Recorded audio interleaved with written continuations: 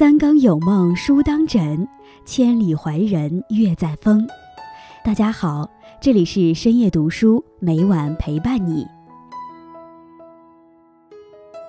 生活就像一个杯子，从一开始里面都是空的，往后里面放什么，全由你自己决定。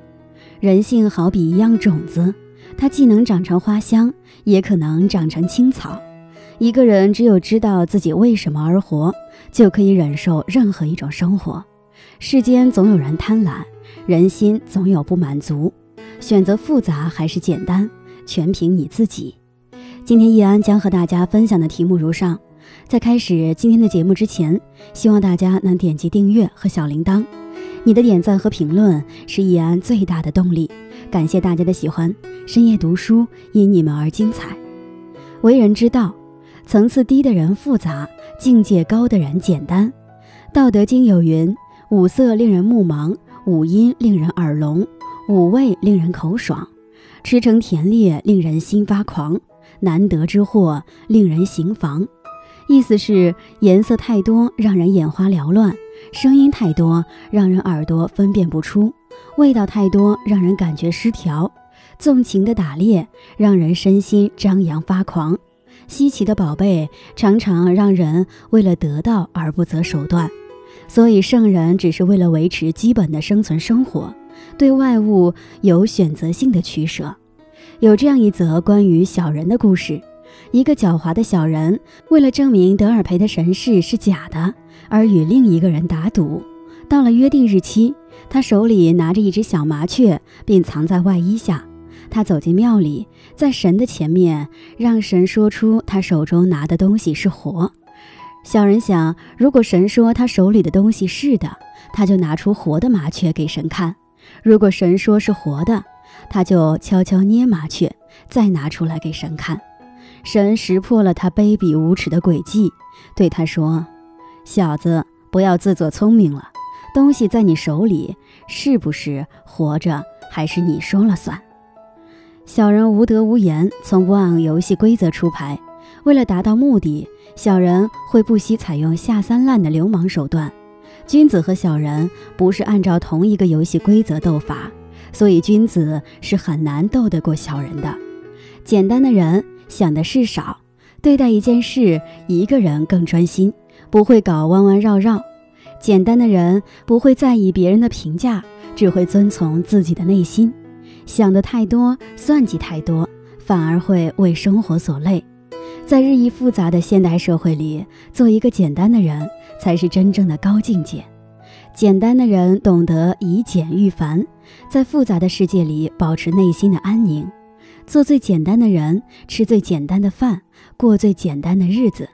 真正的好生活都是简单的，平平淡淡才是真。生活的本意就在诗酒田园间。生活的智慧最重要的就是守住本心，回归本心。处世之方，层次低的人强势，境界高的人随和。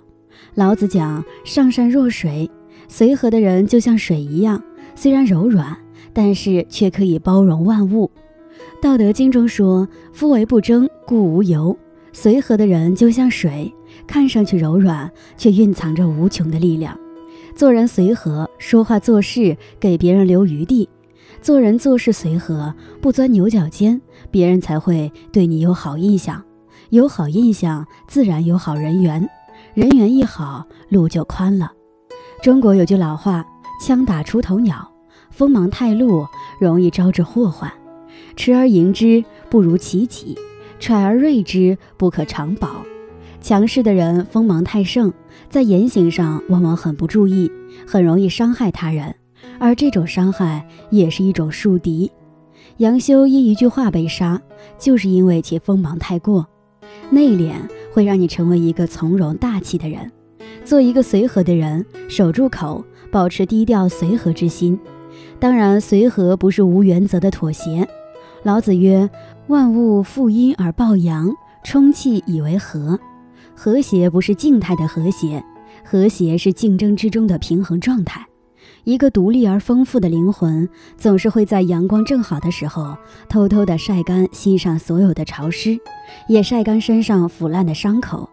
山不解释自己的高度，并不影响它耸入云端；海从不言语它的深度，却依然容纳百川。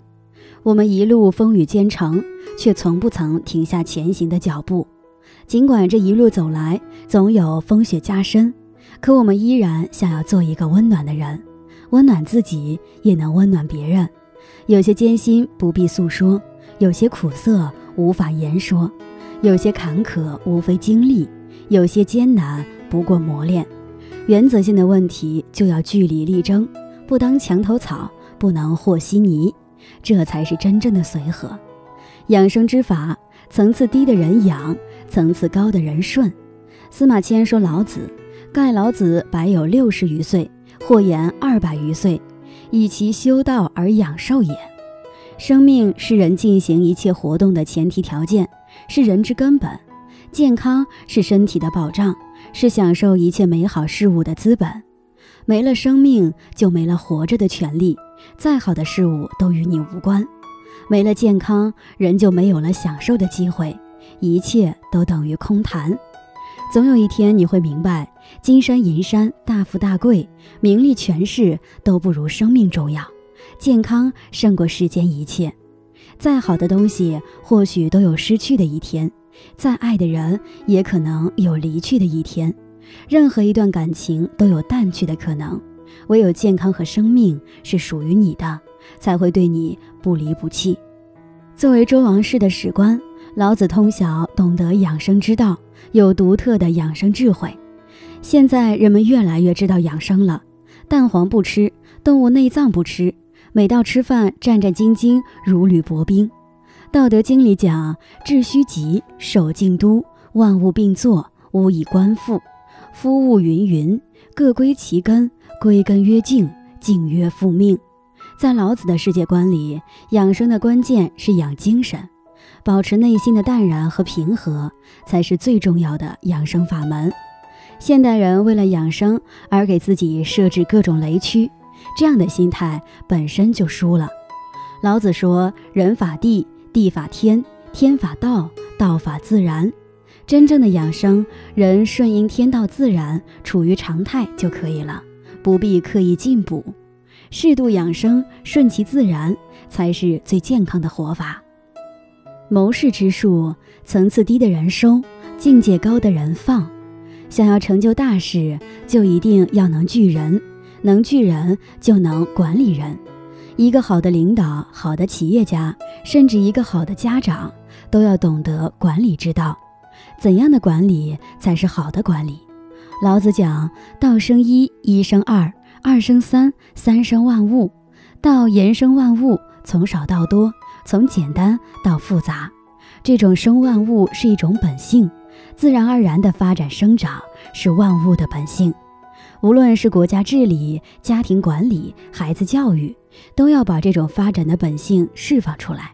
所以，国家企业的管理治理中不能压抑这种本性，就是最大的成功。教育孩子也是如此。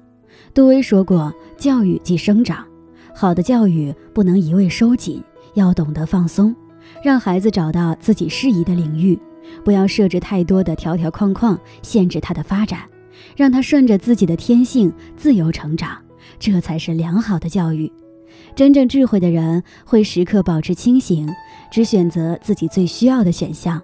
有的人主动屏蔽了泛滥的信息，专注做自己的事情；有的人坚持极简生活，在朴素的生活中书写诗意。还有的人选择离群所居，思考体悟生命的真谛。最好的选择不是我得到了全部，找到自己最重要的东西，并成为全部。以上与朋友们共勉。今天分享到这里，如果你也喜欢这篇文章，并且让你深有感触，希望你能分享给身边的人，让我们一起在阅读中成为更好的自己。最后，在 YouTube 和 Facebook 上都能找到深夜读书哦，依然期待与你的互动。感谢你的收看，我们下期再见。